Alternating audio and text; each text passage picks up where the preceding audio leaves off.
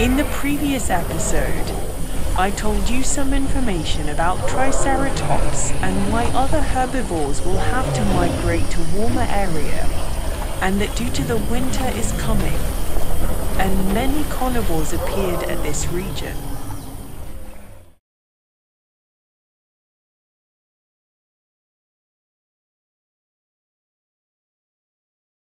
In this episode, I will talk about other dinosaurs.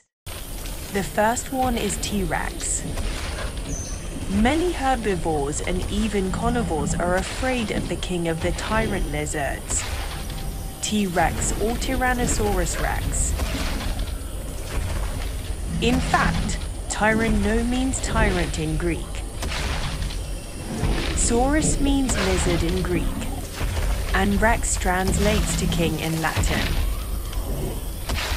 T-Rex was a member of the Tyrannosauridae family of huge predatory dinosaurs with small arms and two-fingered hands, and appeared during the Cretaceous period.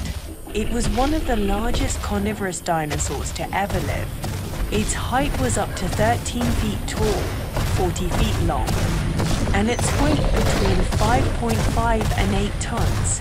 It had the strongest bite of any land animal that ever lived. And it was a huge carnivore and primarily ate herbivorous dinosaurs, including Edmontosaurus and Triceratops.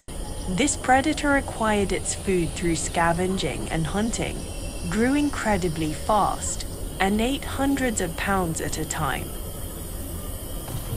The second is Edmontosaurus, Edmontosaurus was a large herbivorous dinosaur that lived during the late Cretaceous period. Its name means Edmonton lizard after the location of its discovery, Edmonton,